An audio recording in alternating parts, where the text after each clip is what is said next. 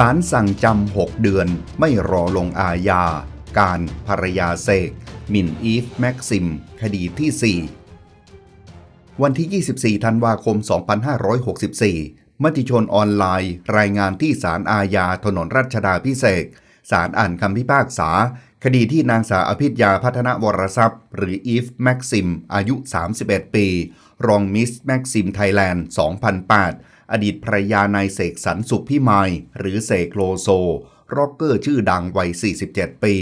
เป็นโจทก์ยื่นฟ้อง นางสาววิภากร หรือกานต์สุขพิมายอายุ 48 ปี ภรรยาเสกโลโซ บริษัทลาสเตอร์เอนเตอร์เทนเมนต์จำกัด และนายนัทนนท์เจียงวิเชียนนักแต่งเพลง ร่วมกันเป็นจำเลยที่1ถึง3ในความผิด ฐานหมิ่นประมาทโดยการโฆษณา จากกรณีเมื่อวันที่ 12 ตุลาคม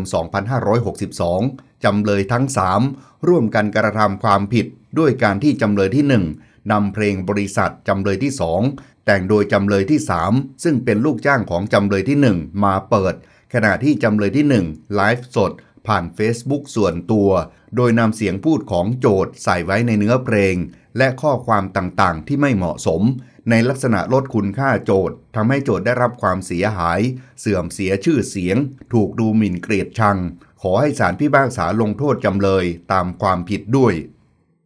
ซึ่งศาลไต่สวนมูลฟ้องโจทย์แล้ว เห็นว่าคดีมีมูล ให้ประทับรับฟ้องไว้ และสืบพยานทั้งสองฝ่ายแล้วเสร็จ โดยจำเลยได้รับการประกันตัว เมื่อถึงเวลานัดจำเลยเดินทางมาศาลศาลพิเคราะห์แล้วเห็นว่า จำเลยทั้งสามมีพฤติการณ์กระทำความผิดตามฟ้องจริง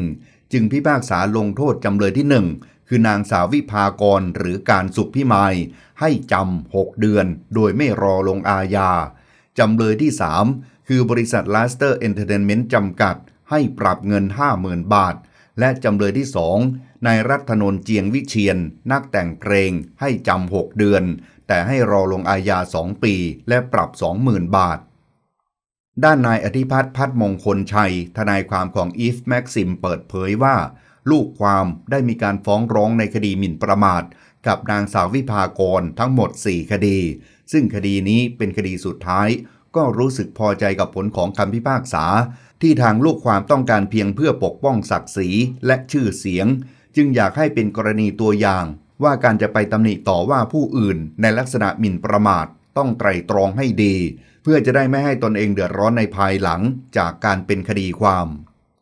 ส่วนจะมีการฟ้องแพ่งเพื่อเรียกค่าเสียหายหรือไม่นั้น ยังไม่ได้มีการหารือกับลูกความ แต่จุดประสงค์หลักของการฟ้องร้องที่ผ่านมา คือต้องการปกป้องศักดิ์ศรีและชื่อเสียงของลูกความเท่านั้น ผู้สื่อข่าวรายงานว่าก่อนหน้านี้ เมื่อวันที่ 25 สิงหาคมที่ผ่านมาศาลอุทธรณ์ได้พิพากษายืน โทษจำนางสาววิภากร 5 ปี ปรับ 200,000 บาท โดยโทษจำรอลงอาญาไว้ 2 ปี ฐานโพสต์ Facebook หมิ่นประมาทอีฟแม็กซิม เมื่อวันที่ 15 กันยายนที่ผ่านมาศาลอุทธรณ์ได้พิพากษายืนโทษจำการ 5 ปี ปรับ 2.5 แสนบาท โทษจำรอ 2 ปี